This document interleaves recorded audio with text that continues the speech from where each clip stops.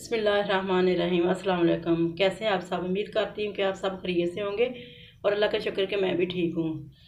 मेरे तमाम देखने वाले, सुनने वाले जहाँ रहें, खुश रहें, हँसते रहें, मुस्कुराते रहें, अल्लाह ताला आपको ज़िंदगी की तमाम खुशियाँ अता फरमाए और अल्लाह ताला आप पर अपने वालदेन का साया हमेशा रखे और जो बेलाद है, अल्लाह ताला उनको नेक साल अता फरमाए।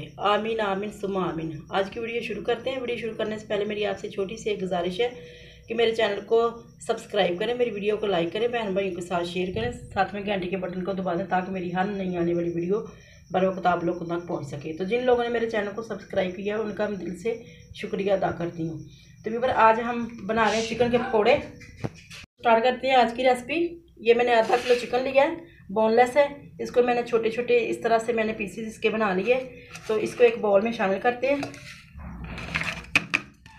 और ये दो खाने के चम्मच मैंने लिया दही, ये शामिल करते हैं।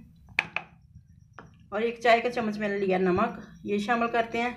आधा चाय का चम्मच मैंने लिए है ली है मैंने सुरख, पीसी हुई मिर्च और आधा चाय का चम्मच मैंने ली है सुरख, कुटी हुई मिर्च, ये शामिल करते हैं। एक चम्मच मैंने लिया सिरका, ये शामिल करते हैं।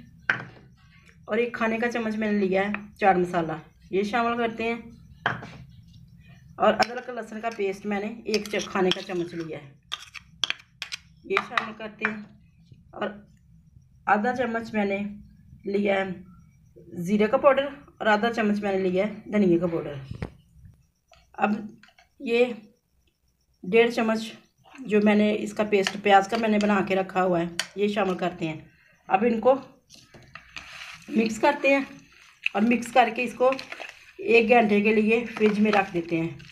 ताकि अच्छी तरह से ये सारे जो मसाले इसमें मिक्स हो जाए। तो आप चाहें तो दो घंटे के लिए भी रख सकते हैं, लेकिन मैं एक घंटे के लिए रखूँगी। ये चिकन को मैंने दो घंटे के लिए फ्रिज में रख दिया था मैरिनेट होने के लिए। अब मैंने एक कप बेसन लिया है और एक चाय का चम्मच मैंने नमक लिया है वो शामिल करूँगी। और एक चाय का चम्मच मैंने ज़ीरा लिया है, और एक ही चाय का चम्मच मैंने कूटी हुई लाल मिर्च ली है। इसमें को मिक्स करके, इसमें पानी डाल के तो बेसन को घोल लेते हैं और फिर पकौड़े बनाना स्टार्ट करते हैं। तो बेसन को मैंने घोल लिया और साथ ही मैंने घी गर्म होने के लिए रखा है। तो अब इसमें ये जो मैरिनेट किया हुआ चिकन मैं इसमें डाल देती हूँ। तो इसको पहले मैं आधा डालूँगी, देख लेती हूँ कि बेसन इसमें पूरा आ जाता है कि नहीं। अगर बेसन कम हुआ तो फिर मैं आधे के बनाऊँगी। तो मुझे तो लगता है वो भी डाल दूँ।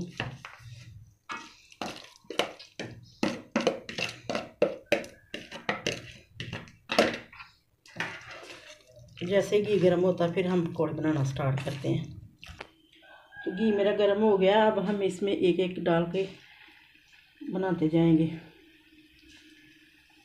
हाथों से डालना, अगर चम्मच से डालेंगे तो फिर वो सारे इकट्ठे हो जाएँगे।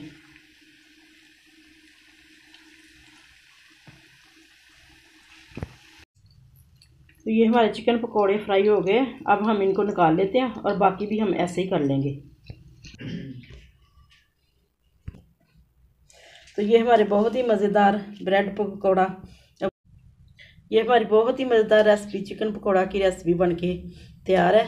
तो आप भी इसे रमज़ान में बनाएँ और ख़ूब इन्जॉय करें। आपने मुझे ज़रूर बताना है कि ये मेरी चिकन पकौड़ा की रेसिपी आप लोगों को कैसी लगी। अगर आप, आप अगर आप भी कोई भी अपनी रेसिपी मेरे साथ शेयर करना चाहते हैं तो मुझे इंस्टाग्राम पे फॉलो करके कर सकते हैं। तो ये थी मेरी आज की वीडियो इसी के साथ हम आज की वीडियो ख़त्म करते हैं। कल एक नई वीडियो के साथ आपकी खिदमत में हाजिर होंगे। हँसते रहो, मुस्कुराते रहो, खुश रहो। अल्लाह हाफिज़।